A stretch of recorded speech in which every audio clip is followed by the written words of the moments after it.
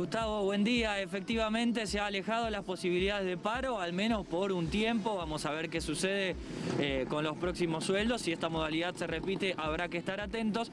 Pero por lo pronto lo que sí queríamos comunicar y queríamos compartir es que el funcionamiento del transporte urbano de pasajeros está siendo totalmente normal. Si alguien ayer se desconectó a la tarde, recién arranca y no tenía idea de qué era lo que había sucedido, bueno, finalmente está funcionando todo con normalidad, al menos por el momento y acá nosotros vamos compartiendo desde la plaza por excelencia, donde llegan los colectivos, justamente cómo las personas van subiendo y van bajando en una mañana que definitivamente, como seguramente dijeron ustedes, hace mucho, pero mucho frío y ahí están entonces eh, las rosarinas y los rosarinos arrancando la mañana. Mucho, pero mucho frío a esta hora.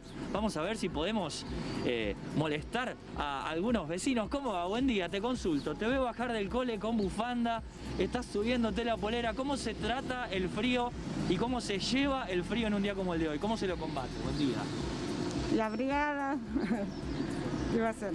¿Qué abrigo tenés? ¿Cómo, cómo está compuesto el abrigo de hoy? Eh, polera, suéter, campera y bufanda y, y guantes. Gracias.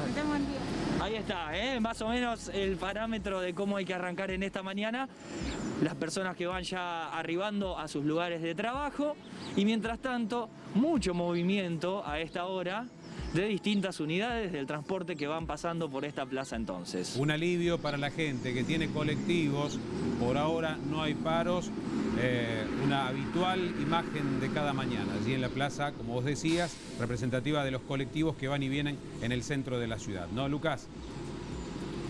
Exactamente, Gus. Sabes que mientras vos me hablabas, Sí. acaba de pasar un coche que justo se detuvo en la esquina. Estaba repleto de gente, repleto.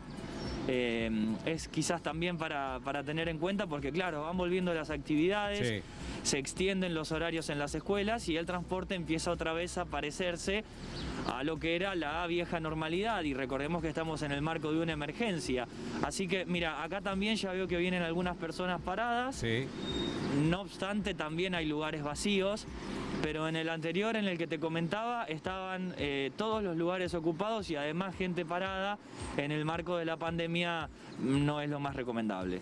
Por supuesto, hay que mantener eh, las condiciones para alejar el contagio. La situación es estable, pero el número todavía no da para eh, flexibilizarnos, distendernos. Esta es la situación entonces. Un grado ocho décimas bajo cero, la sensación térmica. ¿eh? Se siente entonces, Lucas, allí en la calle, mucho frío.